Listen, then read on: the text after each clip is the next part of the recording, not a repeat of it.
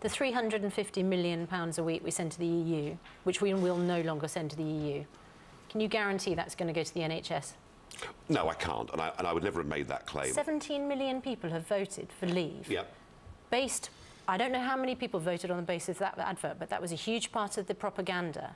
You're now saying that's a mistake. We have a 10 billion pound a year, a 34 million pound a day featherbed that is going to be free money that we can spend on the NHS, on schools, or whatever it is.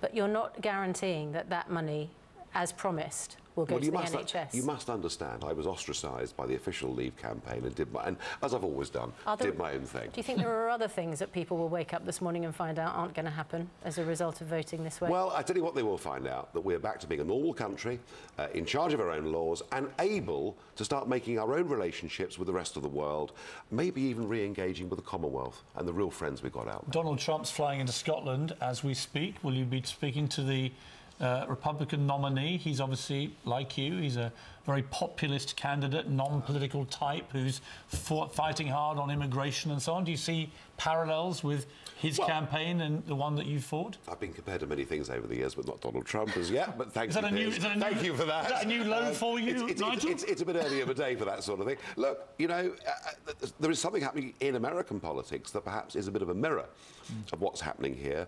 A feeling in much of America that what happens in Washington is too detached, too remote, um, and Trump is cashing in on some of it. I don't agree with everything he says, uh, but he must have a chance of winning. Final message for the people watching this who did not vote for this, who are pretty shocked. I'm reading it on Twitter. Yeah. They're like, what has happened to my country? I can't believe it. They fear that we've now become a kind of semi racist Little Englander mentality country overnight. What do you say to people that genuinely fear that? I know a lot of Remain voters did it reluctantly. They did it because they believed the scaremongering and the fear stories about economics. Hmm. All of that is wrong. And I would say to all of them, listen, guys and girls, we're living in a 21st century global economy. We have just broken free from a backward, failing political union. The world is now our oyster. When are you having your first pint, Nigel? Or have you had it? Um, I'm, I've had a couple already. Well, listen, it would be churlish not to again congratulate you, you. on a successful campaign. We have voted to leave. That's been your big, uh, well, your dream for many years, as you said. So we congratulate you and the Thank you. people that worked with you. To be driving around in a German bus with a figure on the blazoned across it, which he knows is completely misleading because he knows that that amount of money is not actually what it costs us. He's got a point, hasn't he?